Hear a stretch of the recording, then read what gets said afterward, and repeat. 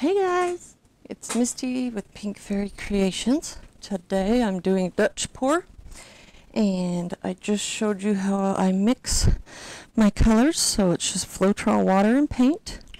My paints today are 99.8% Arteza paints, the Pearl family.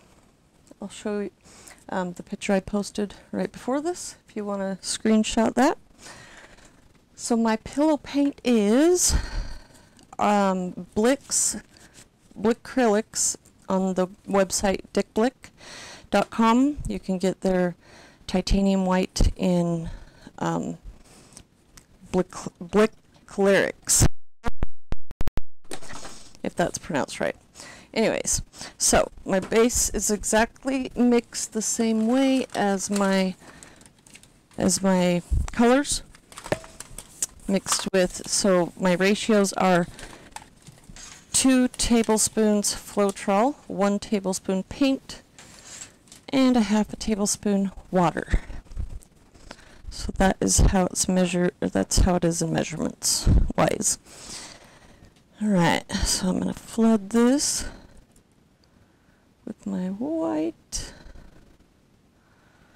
And this is a 12 by 16 by 6 by 12 is what these canvases are. And just going to let that drain for a second. Maybe. It's the last of it.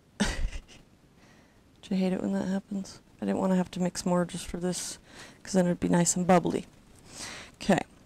So I'm going to blow out my colors or blow out my base.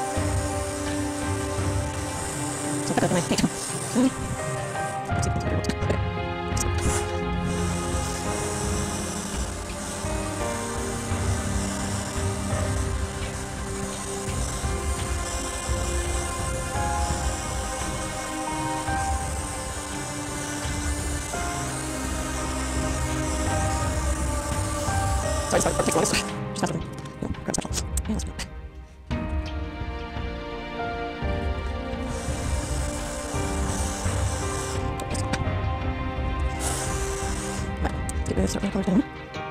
No, stop, wait. Don't say straight. It's the first one. Of it. Yeah, it's.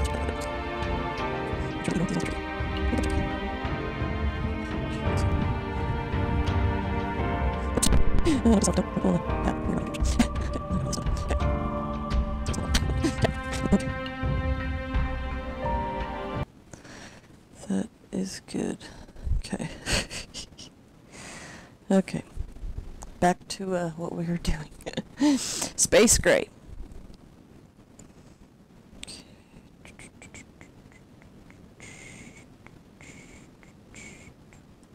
Sorry, I do weird noises. Alright, and the next color is Pearl Rose. I'm doing better about colors, guys. I've purposely been leaving my colors out. Next one is Copper. That fly is going to be the death of me.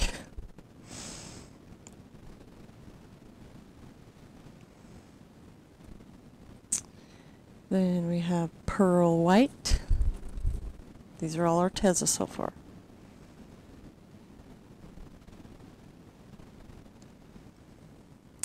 Then we got Van Dyke Brown by Amsterdam. One of my faves.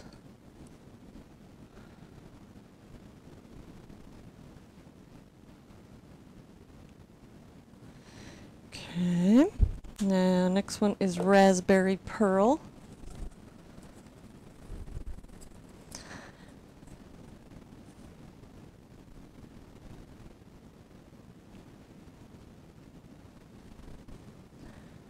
And the next one. I think I'm missing a color. Nope. Sorry, that color I just put down was not that one. It is Jo Sonja's um, Claret Rose. That's what that one was. Now this one is Rose Quartz.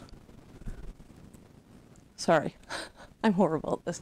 This one's Raspberry Pearl.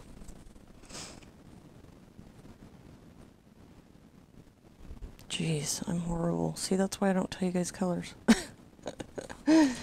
now, Arteza Pearl Deep Brown, my all-time favorite next to Van Dyke Brown. Come on. I hate it when the squeeze bottles do that.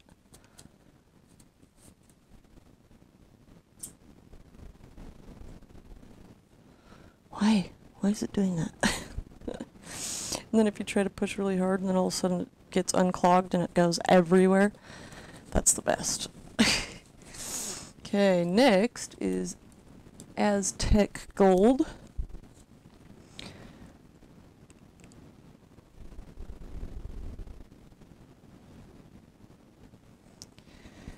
And then one of my favorites, this is um, a Pearl Ex pigment called Pink Gold. That's what this one is. This one is so pretty. It has like a nice gold tint to it, like a rose gold. It's so pretty, just like its name. Rose gold. Now this one is Liquitex Bronze, one of my other favorites.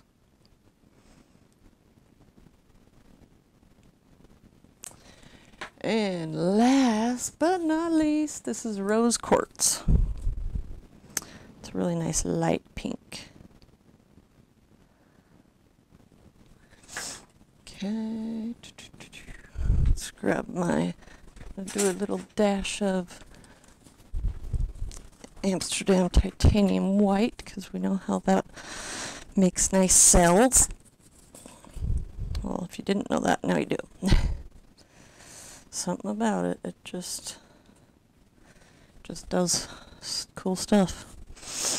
Okay, now I'm going to flood the canvas so that I can blow it over the colors. And it helps, the whole reason for this is it helps blend the colors when you blow it over. And then when you blow it out, it helps it blow in the design instead of just stopping at a halt. It blows it and lets it flow farther. That's the whole reason for flooding your canvas. Makes your paints flow. And you don't have to blow the color, the pillow over your colors. You don't have to do that. That's optional. Well, everything in art is optional, but even if you're just trying to do it like everybody, you can do it without, all, all it does if you don't blow it over is it doesn't blend the colors better. That's all.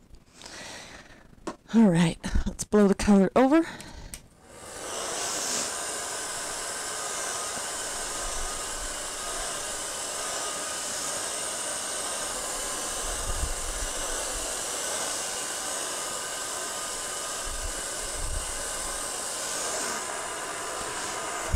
Alright, wish me luck let's torch it first. So torching it gets all the bubbles out, which you don't want them to pop while it's curing after you're all done, and then it leaves a big white spot or a blob of the popped once it's curing.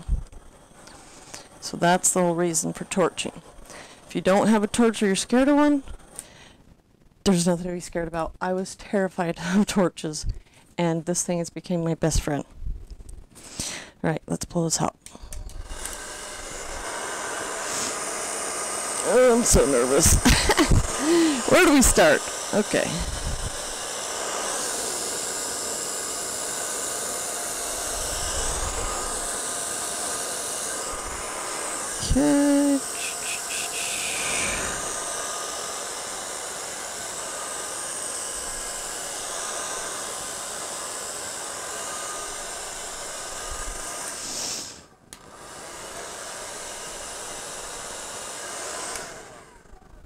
Okay. It's okay so far. We'll fix it. Nothing my little trusty blower can't fix. if you guys haven't seen my uh, little tool I'm going to be bringing out, you're missing out. this is on Amazon. It's the world's smallest leaf blower. If you don't have one, I suggest you get one. You'll be impressed. Alright, feel free to mute me while I blow this out.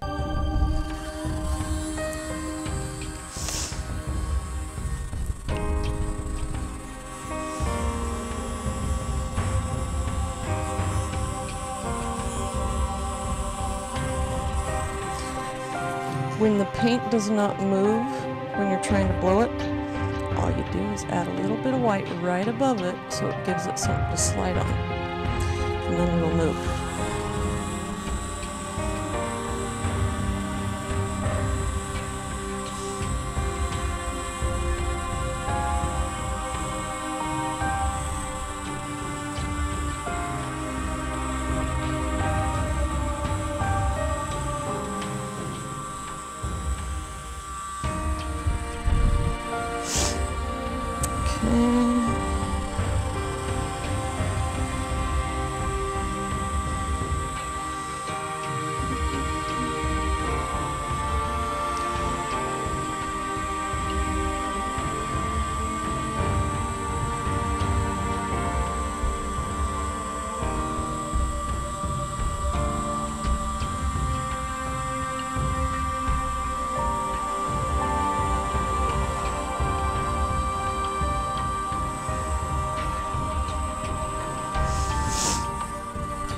That part's done, I'm going to take them apart.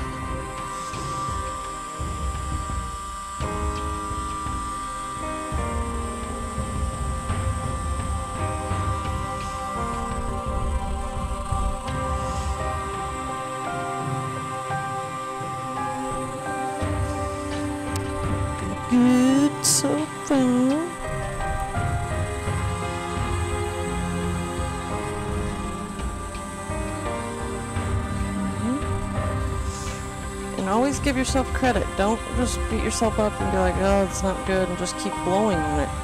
Take, if you feel like you're getting frustrated, just take a deep breath, put your tools down, step back, and look at it. Because it could be beautiful and you're just not seeing it because you're too busy frustrated.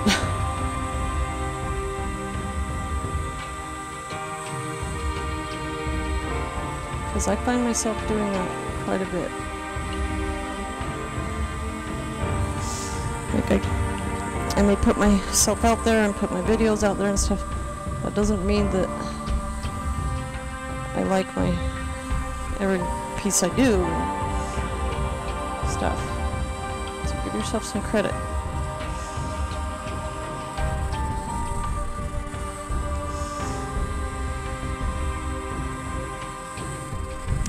Biggest thing you can do is just step back, look at it, and then and try it again.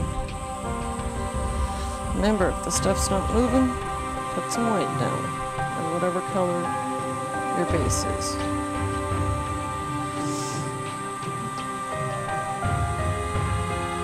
Don't get your lid in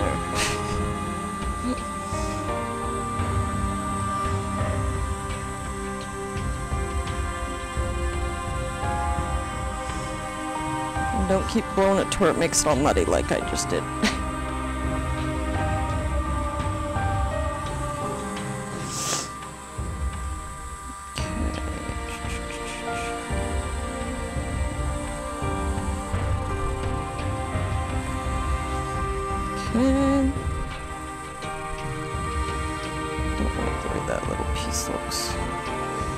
If you don't have one of these, you can always use your mouth. You can use, uh, I have a, what are those, airbrush? Airbrush guns. I prefer this over my airbrush gun. Oops. Careful, it's a powerful little sucker.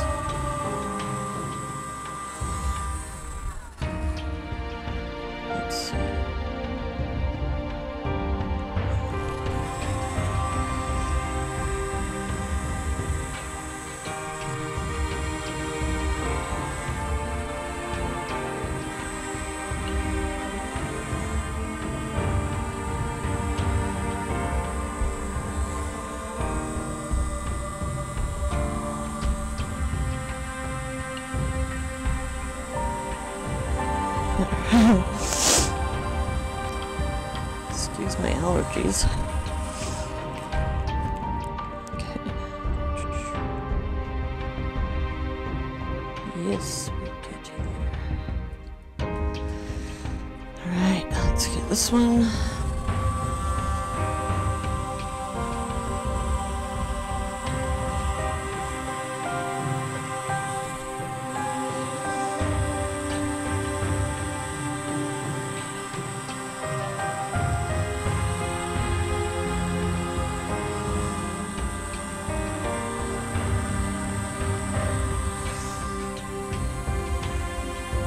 to work on when you separate them.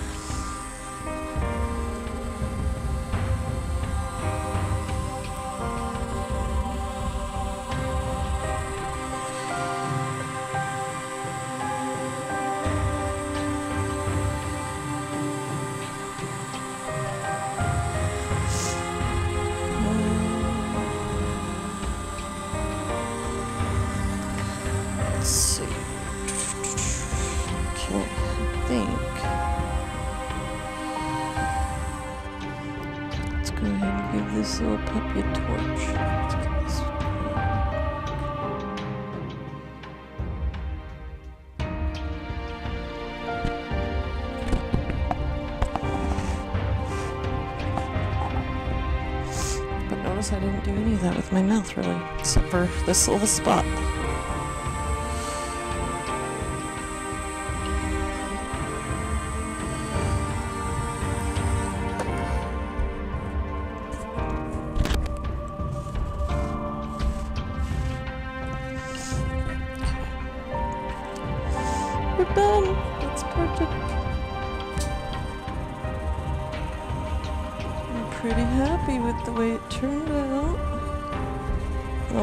The edges and stuff after we're not on camera because you don't have to watch that, it's boring.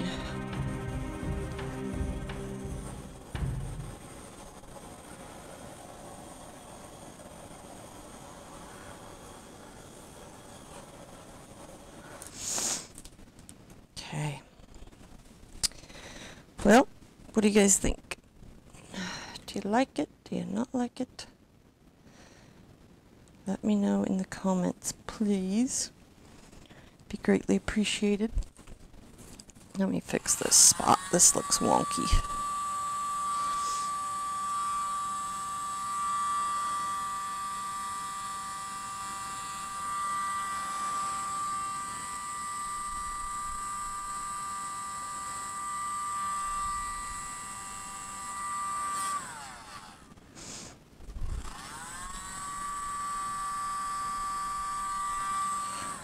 Alright. There we go.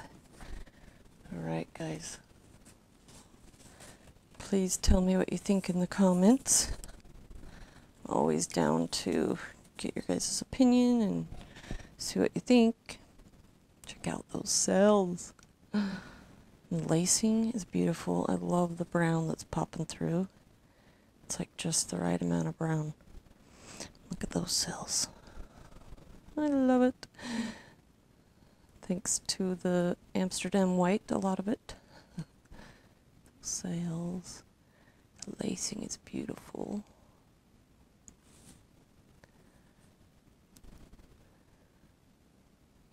I love the colors. The colors go really well together.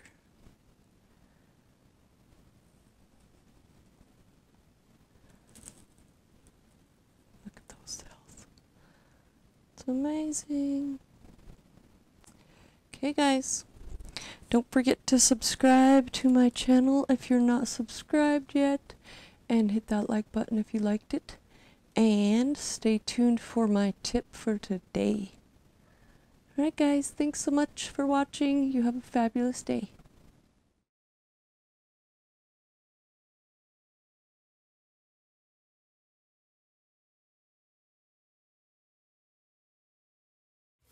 Okay guys, I said I was going to do my tip for today. So this is what I use for my, when I epoxy resin my art pieces. If When I take off the tape on the back side of my art pieces and there's little lumps or bumps or anything that I need to sand, I use this Dremel. But the best part about the Dremel is the part that I use as the attachment. These are sand wheels and they are perfect because the other ones are all awkward and like flat, like just a straight flat tip of sand right here, sandpaper, and it's so weird to like try to sand it. So these sand discs make it perfect to sand because you just turn it on and you literally just start sanding. I'll show you on this. So here's just a big piece of epoxy with a flower in it. So you literally can go on the sides just like this with it. And it files it right down. Just takes it right down. Watch this part. And I can go higher speeds too, but...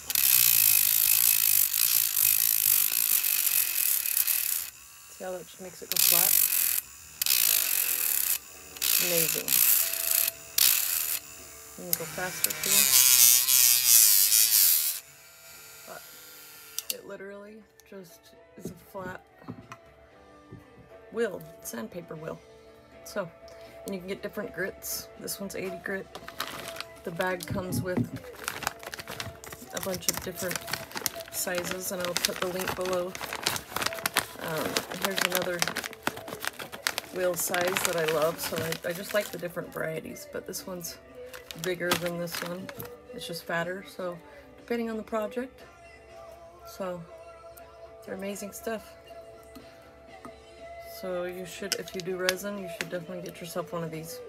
It's better than a nail filer, like the electric ones, because it's more durable and you can do a lot more with it. This one's a cordless one. I got this at Lowe's, but you can get them anywhere. It's just a Dremel. And the pieces are sand wheels, and I'll put the link in the description below. Thanks, guys. Have a great day.